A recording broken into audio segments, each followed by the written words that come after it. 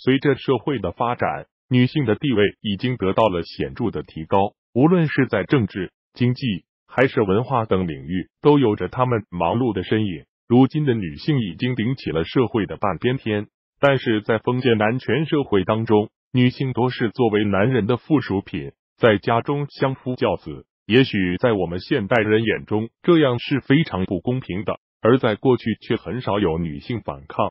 也很少有女性在封建社会中成为佼佼者。不过武则天却是一个例外。武则天年仅十四岁就入宫，成为了唐太宗李世民的才人，但是一直不受宠。后来到李世民的儿子唐高宗李治即位后，武则天又成为了李治的皇后，并深受皇上的宠爱。由于其出色的政治能力，当唐高宗患病时，武则天就代其处理政务，并做得十分出色。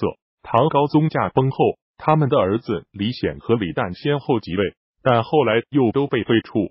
天寿元年，武则天称帝，改国号为周。于是，一代女皇就这样在中国的历史长河之中留下了浓墨重彩的一笔。武则天登基后，做出了许多贡献。在政治上，她知人善任，发展科举，为国家选拔了一大批人才；在经济上，她重视农桑，轻徭薄赋。农业与手工业有了显著的发展。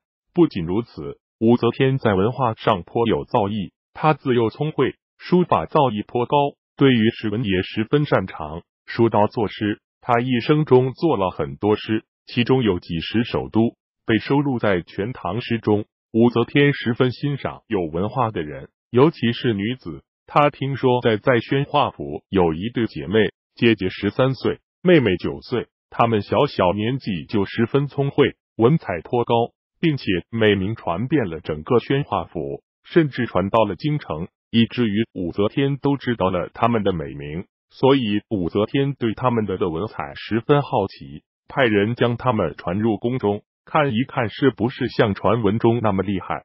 刚入宫的两姐妹颇有初生牛犊不怕虎的勇气，在见到武则天时也不惊慌。所以武则天对他们十分欣赏，于是带他们在宫中游玩。在经过一个荷花池时，看到一位和尚在摘花，于是出了个上联，让姐姐对。这上联是“河里荷花，和尚摘去何人带”。姐姐在思索了片刻后，给出了下联：“请您琴弦轻音弹给青娥听。”武则天听后夸奖了他一番，